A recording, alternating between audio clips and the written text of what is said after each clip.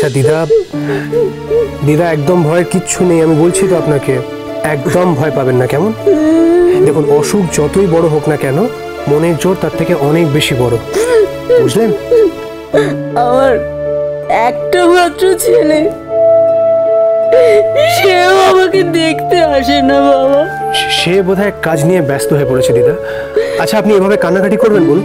বেশ এ তো আমি এখানে আছি। আমিও তো আপনার ছেলেরই মতন। আপনি আমাকে নিজের ছেলে বলে মনে করুন কেমন?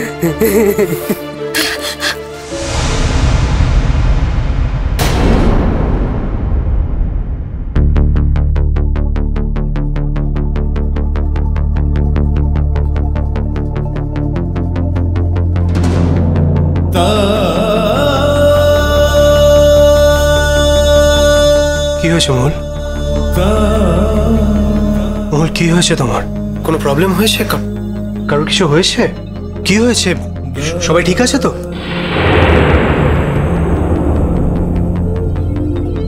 কি করছ এটা কি হচ্ছে? এটা কি কি করছ? তোমার তো কিছু হয়নি? হ্যাঁ?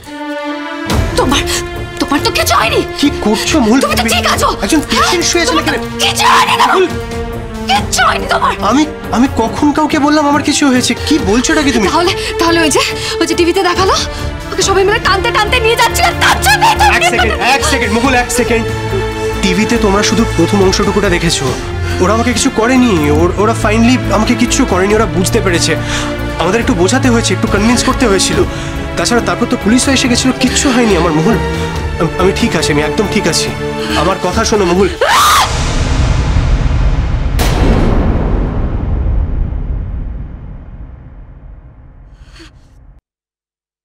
তাই যদি হয়?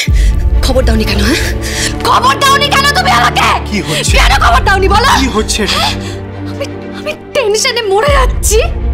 আর আর তুমি এখানে পেশেন্ট দেখছ হ্যাঁ? আমাকে আমাকে খবর দাওনি এভাবে কেন বলো? এভাবে রিয়াক্ট করছ কেন? আমি তো তাই বুঝতে পারছি না কি হয়েছে বুঝতে তোমার। পারছ না না? বুঝতে পারছ না? হ্যাঁ? আমার টেনশন হচ্ছে। আমি টেনশনে মরে যাচ্ছি। আর তুমি এখানে বসে বসে পেশেন্ট দেখছ? মুহুল শার্টটা এভাবে ছিঁড়ে দিলে আমার সারাদিন কাজ করতে হবে শোনো! পুরো শার্টটা ছিঁড়ে দিনই তোমার ভাগ্য ভালো!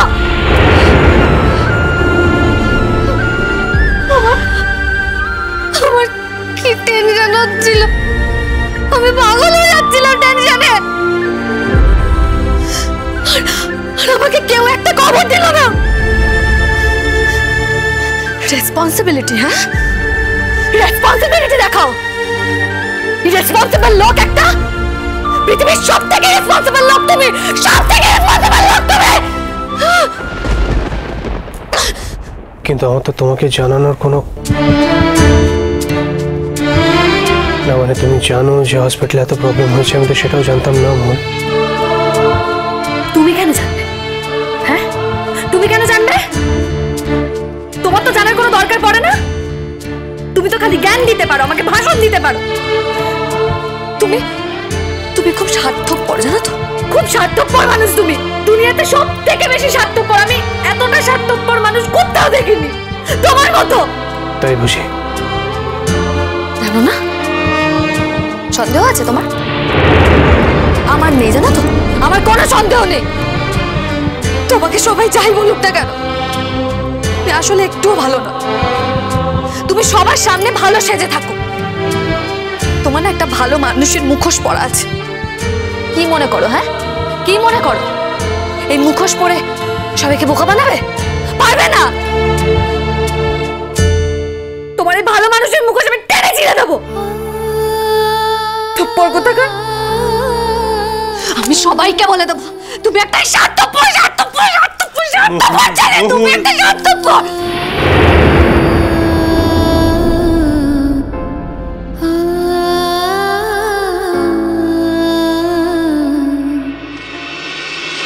তোমরা এখানে ছোটকা? কি আশ্চর্য টেলিভিশনে খবরটা দেখলাম। তোর কি মনে হয় তারপরও আসব না? মহুল তোমাদের সঙ্গে এলো মানে তোমরা নিয়ে এলে মহুলকে? ওই দেখো আমরা নিয়ে আসতে যাব কেন? মহুল তো নিজেই খবরটা শুনে ঊর্ধ্বশ্বাসে দৌড়তে দৌড়তে এখানে চলে এলো। আর আমাকে সঙ্গে করে নিয়ে এলো। আমরা না একটা গাড়ি ভাড়া করে এলুম জানো তো? আর কি অবস্থা? হাসপাতালে তো আমাদের ঢুকতেই দিচ্ছিল নি। বল, কি কষ্ট করে আমরা ঢুকলুম। বাপরে, যদি জানতুম যে তোমার কিছু হয়নি কো, তুমি ঠিক আছো, তাহলে মহুলের এতটা কষ্ট হতো নি। আরে তা জানবে কেন? ও তো একটা স্বার্থপর ইরেসপন্সিবল ও সবার কাছে প্রমাণ করতে চায় যে কতটা রেসপন্সিবল ওর মতো রেসপন্সিবল আর কেউ নেই। আর কতটা মহৎ সাজতে চায় সকলের কাছে। কিন্তু আমি তো জানি, আমি তো জানি কতটা স্বার্থপর ছেলেও ইরেসপন্সিবল ওর মতো পৃথিবীতে ইরেসপন্সিবল না কেউ নেই। আমাকে একটা খবর দেওয়ার প্রয়োজন মনে করল না।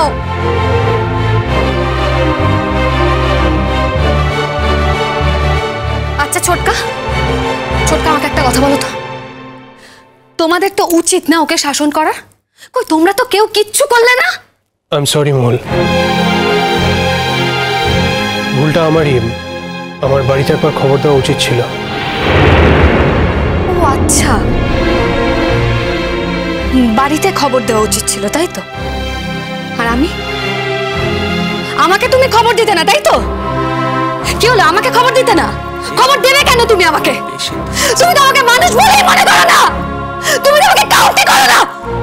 বুঝতে পারছি না এত হাইপার হওয়ার কি আছে মোহন তো বিশেষ কিছু হয়নি। আমরা জানতাম যে হওয়ার কথাও ছিল না। তুমি কেন ছুটে এখানে এলে সেটাও বুঝতে পারছি না। অবশ্য হতে পারে যে তুমি ট্রমার মধ্যে আছো যদি তোমায় লোকে প্রশ্ন করে যে তুমি কেন আসোনি তাই বোধ হয় বুঝেছি? কেন? কেন আমাকে সবাই কেন কথা শোনাবে? বারে? তুমি খবর পেয়েও এখানে আসোনি, সেটা ভেবে যদি কেউ কথা শোনায়, তাই তো ছুটে এসছো, তাই না? এবং তাই তো টেনশন করছ, আমি বুঝেছি। এবং আমরা সবাই মিলে এটাও বুঝেছি যে তুমি দাদাভাইকে নিয়ে চূড়ান্ত কনসার্ন এবার মিটে গেছে। চলো, আমি তো গাড়ি এনেছি, আমি তোমায় বাড়িতে ড্রপ করে দেবো। আরে সবে তো বাড়ি গেছো, একটা দিনও ভালো করে কাটাতে পারলে না, এরকম করলে তো হবে না। দাদা ভাই বোধ হয় এখন এখান থেকে বেরোতে পারবে না। চলো আমি পৌঁছে দিচ্ছি। আচ্ছা অনুরূপ তুমি সবটা এত আগে থেকে ভেবে নাও কেন বলো তো? দাদা ভাই যেতে পারবে না। কে বলেছে তোমাকে দাদা ভাই যেতে পারবে না? মহুলে এরকম একটা ইনজুরি হয়েছে এরপরও কি ওকে একা ছেড়ে দিতে পারে রোদ্দুর? কিসের ইঞ্জুরি সব ইনজুরি কি আর বাইরে থেকে দেখা যায় তুমি বুঝতে পারবে না ইনজুরিটা ঠিক কোথায় হয়েছে। আমি কিন্তু সত্যি সত্যি আপনার কথা বুঝতে পারছি না। কিসের ইঞ্জুরি? ওটা বোঝার জন্য একটা মন লাগে অনুরূপ। শুধু গান গাইলেই হয় না অনুরূপ। গান গাইলেও মানুষের মনটাকে বুঝতে হয়। তার ভেতরটাকে বুঝতে হয়।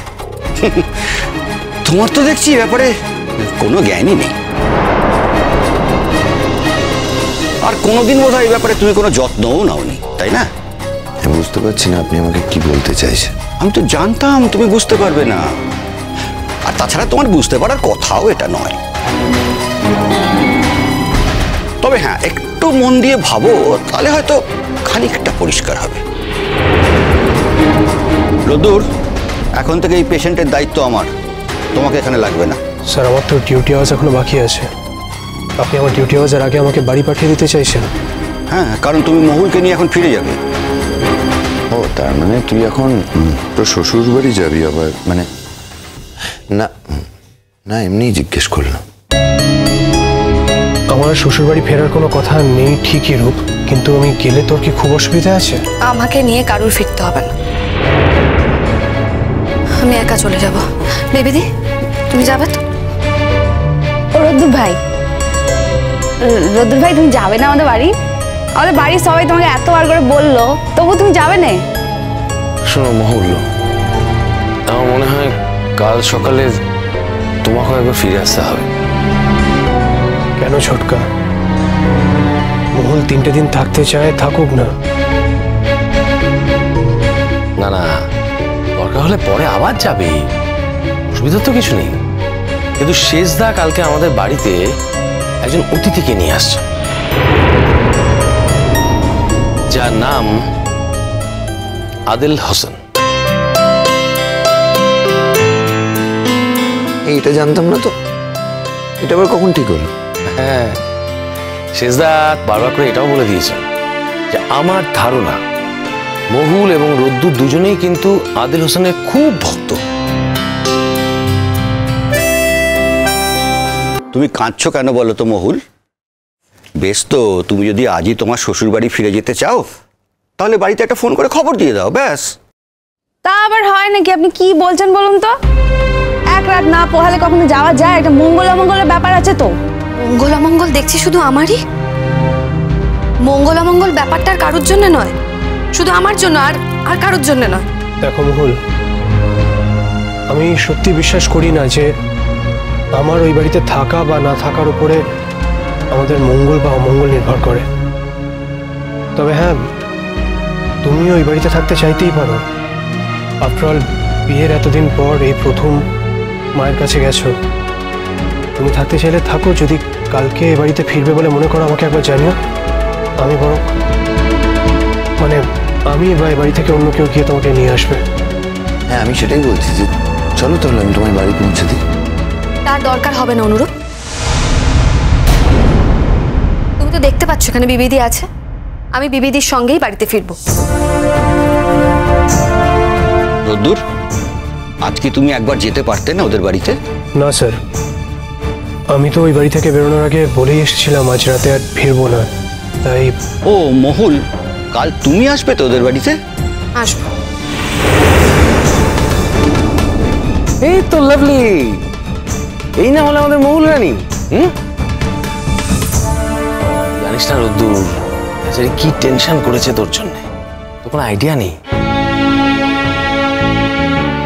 তুমি বা এত টেনশন করো কেন মোহন এত টেনশন করলে তো নিজেরই শরীরটা খারাপ হয়, বল।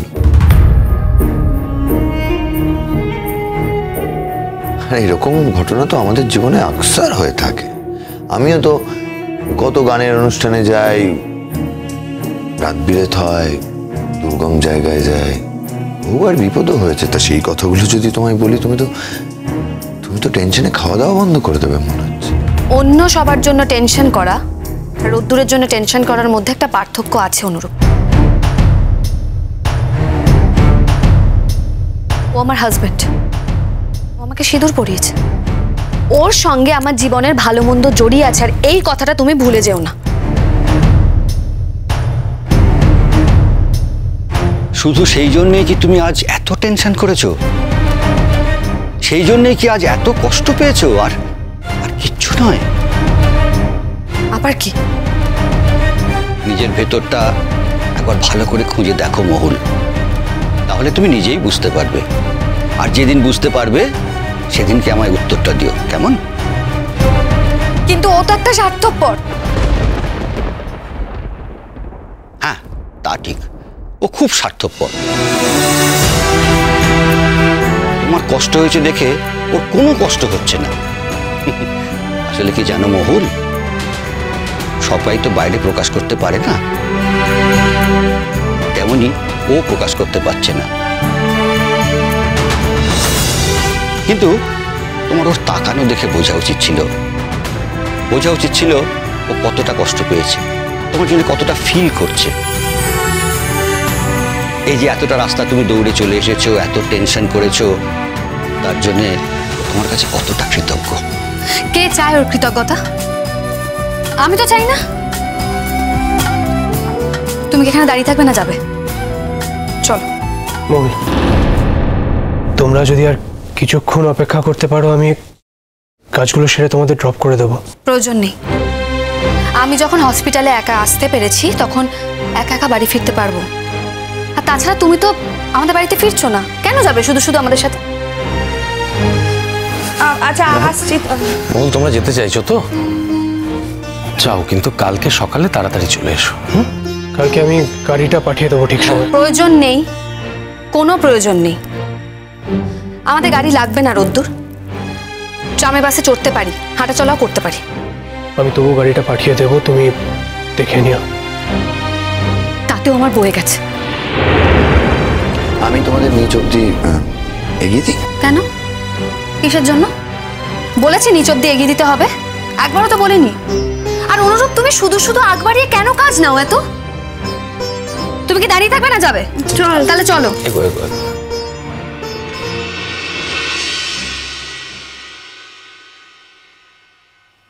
রোদ্দুর আমাদের তো যেতে হবে বাড়ি। এগোই আমরা। চল। আমার তো ফিরে যেতে হবে চল। আসছি দাদা ভাই। আসি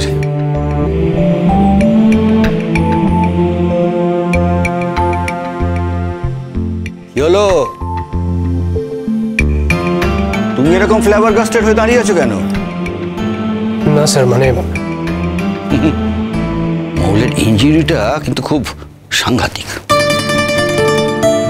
খুব ডিপ ইঞ্জুরি একটু সাবধানে হ্যান্ডেল করো, কেমন? টেক কেয়ার শোনো, একটা একটা সাজেশন মৌলের ইঞ্জুরি দেখে কিন্তু একদম গলে যেও না। টিউব থেকে পেস্টটাকে খুব আস্তে আস্তে খরচা করো। একবারে নয়, কেমন? হাসি।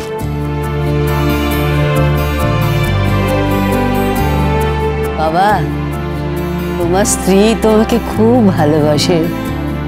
তুমি ওকে একটা খবর পাঠালে না কেন? হ্যাঁ ভুল হয়ে গেছে। এরকম ভুল কখনো করে? ভাগ্যে সেই ভুলটা করেছিলাম। হ্যাঁ? মানে? না কিছু না।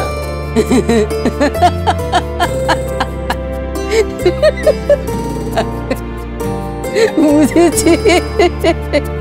আচ্ছা এই একটু আগেই না আপনি কাঁদছিলেন? এখন হাসি পাচ্ছে? এমন একটা মুহূর্ত দেখেও আমার কান্না থামবে না। আমার ভেতর থেকে হাসি আসবে না। আচ্ছা আমি কি এতই পাষণ্ড?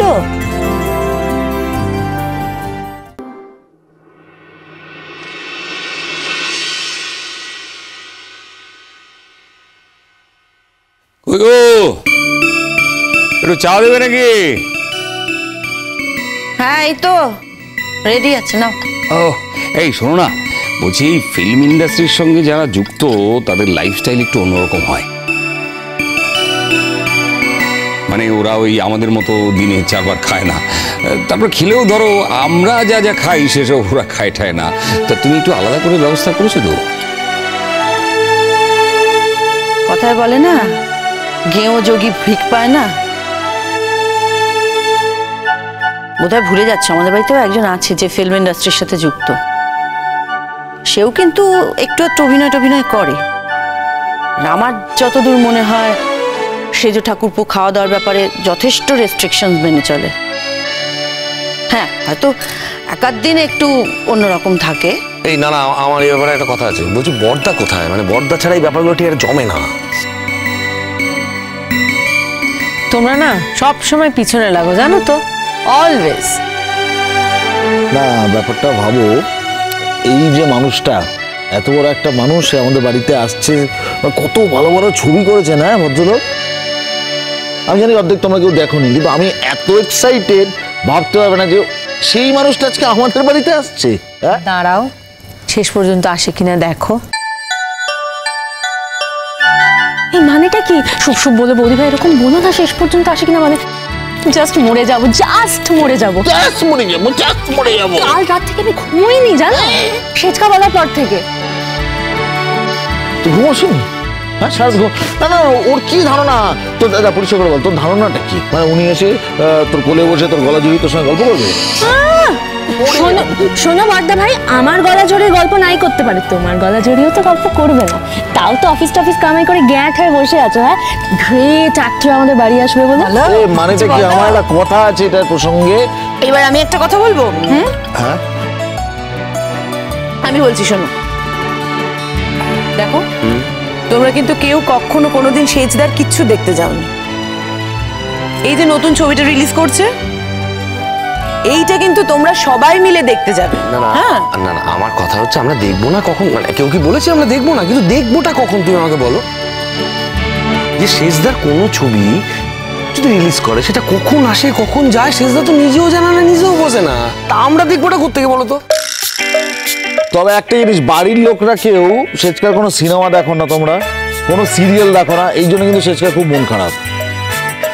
ঠিক আছে এবার থেকে নিয়ম করে সেচকার সিনেমা সিরিয়াল আমরা দেখব। ওফো। তো তুমি কি ব্যবস্থা ট্যবস্থা করেছ? আলাদা কিছু করেছ তো?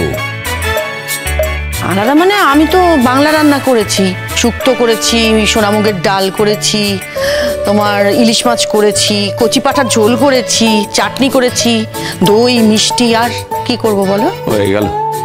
কি? ও কিছু খাবে না। আমি বলে দিচ্ছি তোমায় ও এসব কিচ্ছু খাবে না।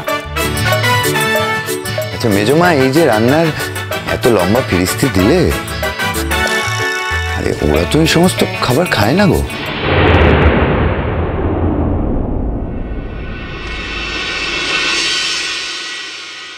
মা মহুল আসলে একটু চাইনিজ রান্না করেছে। ও কি করে জানলো যে ভদ্রলোক চাইনিজ খাবেন?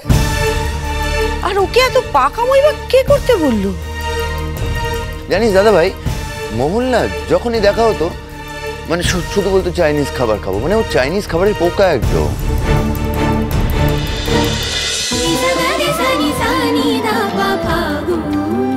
চলো চলো চলো চলো চলো পাল্টা।